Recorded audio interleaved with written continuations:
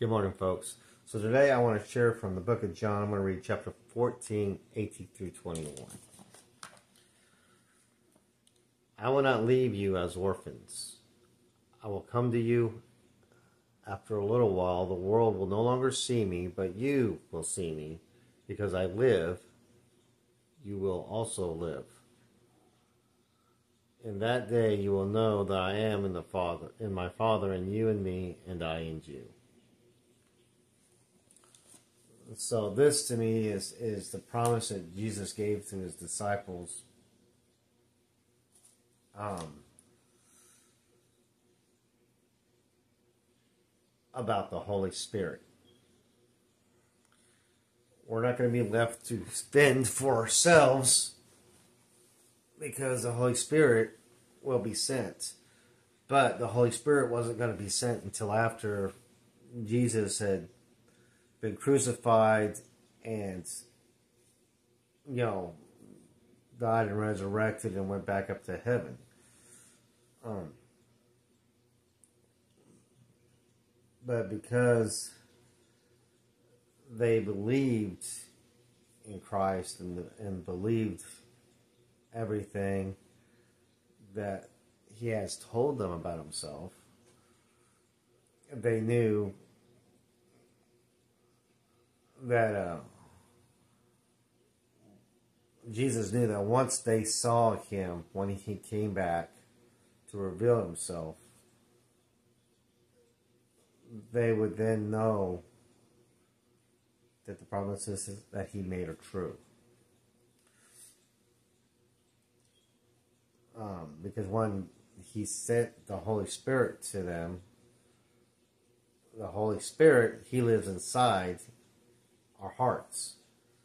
And because of that, um, God, Jesus, live within us, we become um, we become uh, sanctified and justified by that, by the presence of the Holy Spirit in us. Um, and since we love Jesus, God loves us, and because God loves us, and Jesus died for us, we um, we have the gift of eternal life. We have life because they live in us. And just a beautiful thing.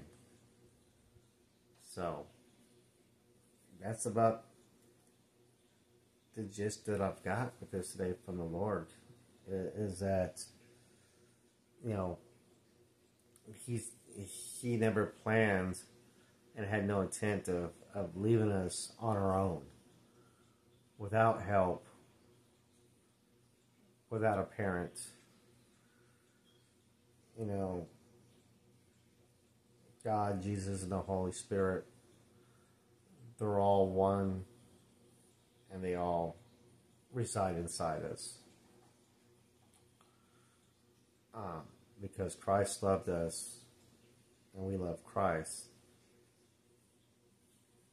God loves us, sent the Holy Spirit in Christ's name, and now we don't have to go through this life alone. We have the ability to talk to Christ, to talk to God.